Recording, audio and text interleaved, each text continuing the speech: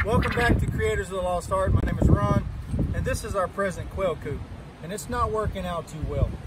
We had to move it in here into the fenced-in area because one of the neighborhood killer dogs decided that in the middle of the night he was going to have himself a quail snack, uh, and we didn't appreciate that.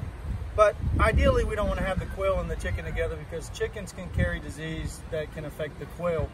Um, I, we're not it, we're not having any of those issues right now, but we don't want to have that. So I need to get to building a, a, better quail coop that's more accessible for Mandy to get the eggs out of. She doesn't enjoy crawling up in there uh, on her hands and knees to, to get the eggs out. So I'm going to build something that's a little bit off of the ground, much easier to get into, and hopefully we get a lot more production.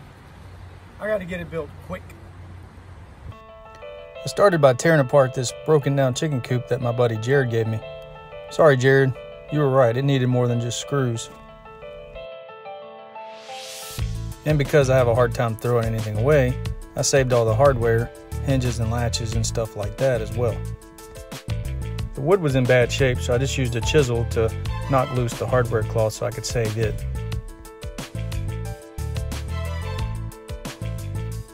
But I didn't have enough hardware cloth to cover the whole thing, so I had to use these tongue and groove 1x4s to cover part of it. The legs are treated 2x4s at 5 feet and 5.5 feet, and the frames are just inch and a half uh, square scrap that I had laying around.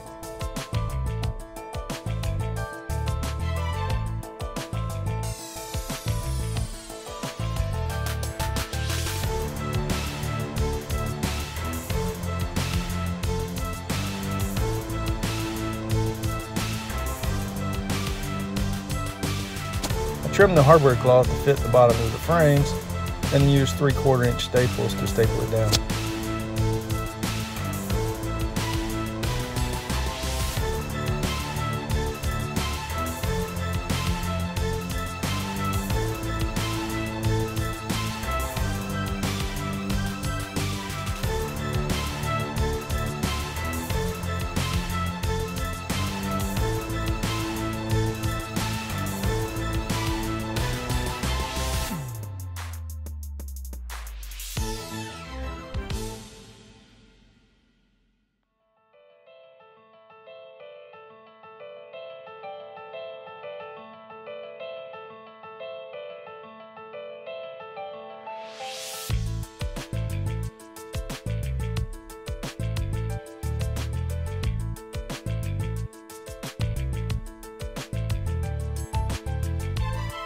Added slides for the cleanout tray for the top coop. This tray will also serve as the top of the bottom coop.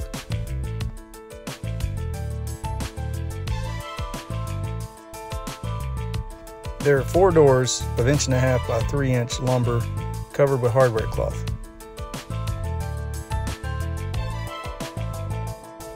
To attach it, I used some hinges that my deceased neighbor gave me, you know, before he died.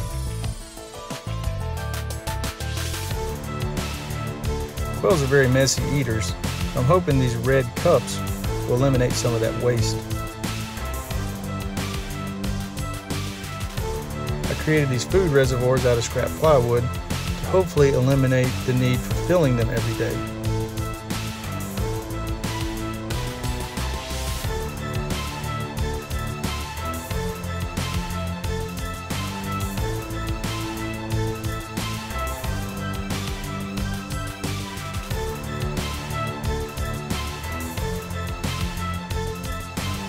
Cleanout trays are just three quarter plywood cut to an inch and a half and covered with some FRP material that I picked up from the dumpster at work.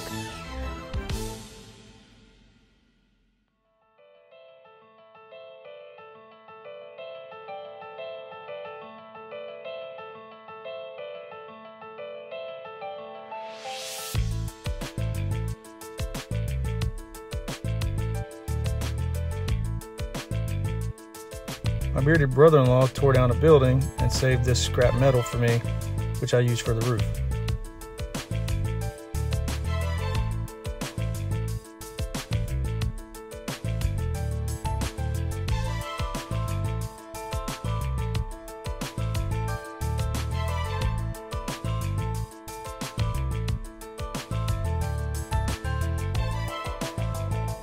Then we completed a family relay race moving the quail from the old coop to the new Hotel Quailifornia.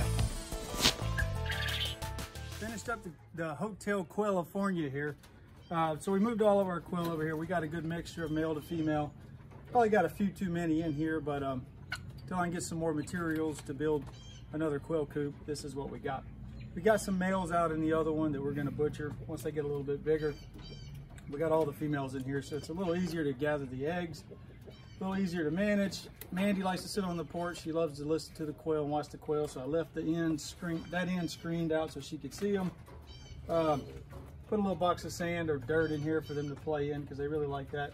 And they got the little feeder buckets on the end. I still have to build the lids for those just to keep any uh, any extra birds or or uh, moisture or anything, but I did leave this overhanging to help protect that from the rain. So far, they really like it. They were singing, singing like songbirds. So, so next time, I did want to add, that I got the little slide out, the slide out poop catching trays. So, you know, on both sides. So the moral of the story is, is you want to be on the, the top floor of the hotel you don't want to be on the bottom floor if these poop trays are not in there. You know what I mean.